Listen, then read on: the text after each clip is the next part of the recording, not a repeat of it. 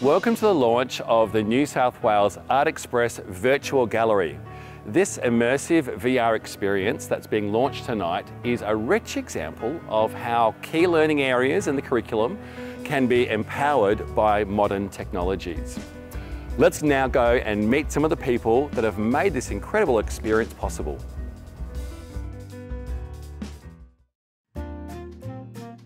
It does feel amazing to be here on such an amazing night with amazing people and you know see see everyone's works up close with especially with the VR headset it's so much different than viewing it on a laptop or you know it does make you feel like you're in a space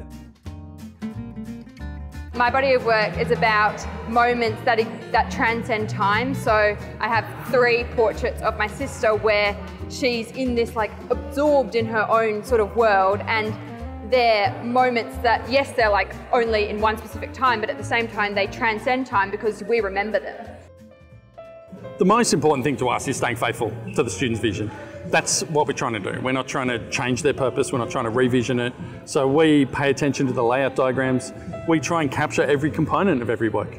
Um, there's a book in, in the gallery this year where you can turn the pages and you put that on the art gallery, you can't turn the pages. You know, so we, we really sort of have that belief that more so we're not recontextualizing it, we're doing as good a job as can be done on imaging every single component of every single work in the way the student can then be um, uh, you know, showcased. I think it works best in VR instead of actual photos. Like it's really great just to actually get an idea of like the different angles and you can like literally hold it up and like rotate the sculptures around, which I think is awesome. It's easier to see all the details.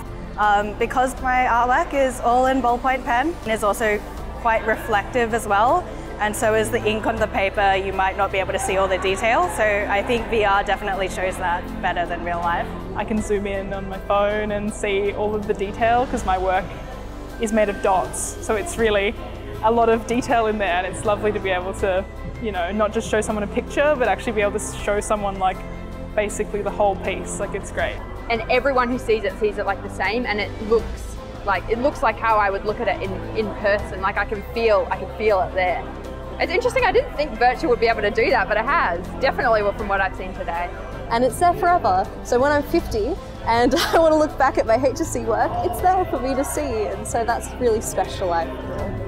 I, I definitely love it. Classic gallery spaces, you've got a distance you have to stand away to protect the works and you don't have that obviously in virtual spaces and it's just really amazing to be able to truly see what the artists saw while they were doing everything. It's yeah, it's great.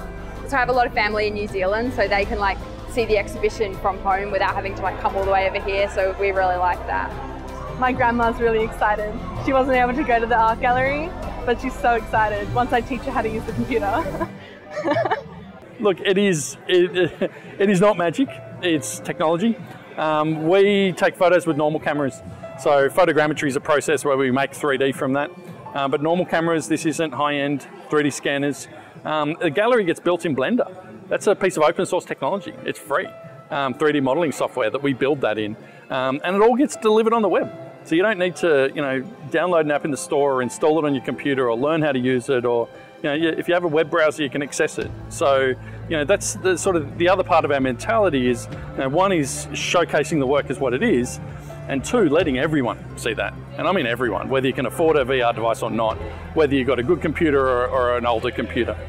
All our students in New South Wales work in isolation, even in a, a great positive year that wasn't affected by adversity. And to get to the end of any journey, and in this case in constructing a body of work that can be celebrated, is one of great euphoria, not just for the student but for families and the connectedness with their school community. And uh, it, again, it's simply celebration of unique qualities and wonderful experiences in our uh, communities across New South Wales.